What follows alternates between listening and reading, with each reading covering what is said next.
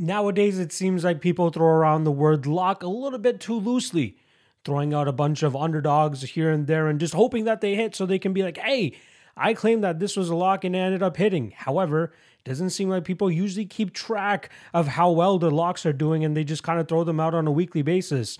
But I want to present a new segment this week, and I'll be doing it moving forward for every UFC fight week, where I give you guys my top three candidates for my lock of the night prediction and I obviously give out the one that I'll be doing and putting my money behind through my Patreon link in the description below.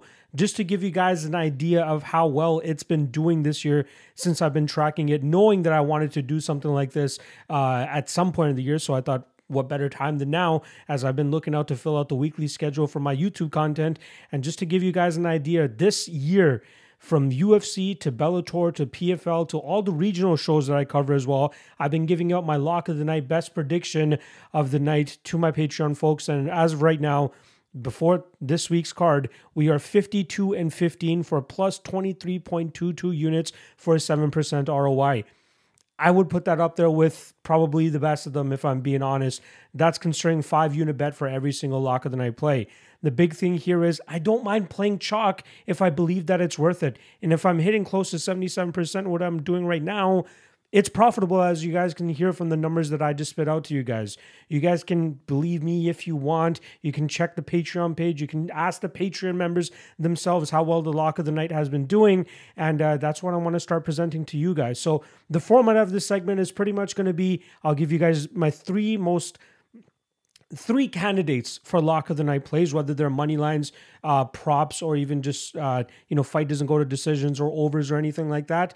And then I'll only be revealing my actual lock of the night prediction on the Patreon, but it will be one of the three that I give out every week. So if you want to know what it actually is, check the link in the description below, and that's where you'll see all of my uh, write ups. Everybody gets those first before the public sees them, and then obviously what my actual lock of the night and dog of the night predictions will be. All right, enough blabbering from me for now. Let's get into the three candidates for the lock of the night prediction for UFC Jacksonville. First up, we're going to go with Randy Brown, who comes in at minus 250. He's going up against Wellington Turman, a kind of a striker versus grappler type of matchup here. I feel like Randy Brown is going to do a good enough job in terms of keeping Wellington Turman on the outside of his punches with that teep kick up the middle, his long straight punches down the middle, and staying on his bike, bicycle enough that he stays on the range and stays away from the desperation takedown attempts that we've seen from uh, Wellington Turman in the past. Just to give you guys an example, his fight against Bruno Silva, in four minutes of that fight going down, he shot 10 takedowns and completed zero of them. And I expect him to showcase those similar stats here against Randy Brown. Sure, Turman's striking is improving on a fight to fight basis ever since he's been joined up with that camp over there at Teixeira MMA, getting in some rounds with Alex Pereira, but I think it's only going to take him so far. Randy Brown is an educated striker, and he did get caught up against the fence last time around against Jack Della Maddalena, but in no way, in shape, or form is Wellington Turman Jack Della Maddalena. So the first candidate for the lock of the night prediction is going to be Randy Brown. Second prediction, we're going to go with minus 190 on Brendan Allen. He's going up against the aforementioned Bruno Silva, another striker versus grappler matchup, but this time I'm going to go with the grappler. Now, the grappler, Brendan Allen, is a is a guy that's actually improving his striking game as well, the, particularly his kicking game. He does such a good job in terms of getting the kicks to the body, getting them to the head, so he keeps his opponents on the defensive until he finds the opportunity to finally take them to the mat, and that's where he ends up doing his best work. He pulled off a big win in his last matchup against Andre Muniz, where he was able to find the tap out victory in the second round. He's on a four fight winning streak. He has a ton of momentum on his side, and stylistically speaking, he's a terrible matchup for Bruno Silva. Obviously, there is a little bit of hesitancy regarding the possible durability issues of Brendan Allen. And if anybody's going to be able to expose them, it might be a guy like Bruno Silva. But given the momentum, given the confidence that Brendan Allen has, I feel like he's a pretty damn good spot this weekend as well, which is why he's the second candidate for the lock of the night play. And the final one, minus 225 on Gabriel Santos. This is going to be his second trip to the Octagon, going up against David Onama, who's returning from a loss to Nate Landwehr uh, in the middle of last year, I believe it was. I believe it was the UFC San Diego card.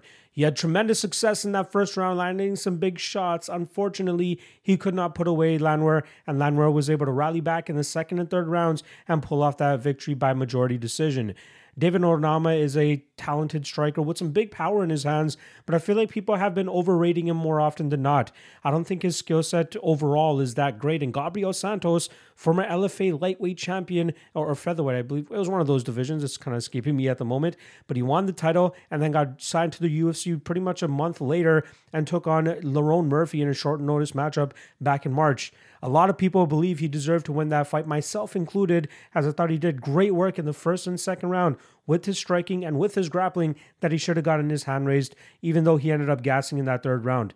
Let's chalk it up to the fact that he took that fight on short notice, was flying, flying from Brazil to London uh, during that fight week and cutting weight, making the weight required to be uh, eligible for that contest.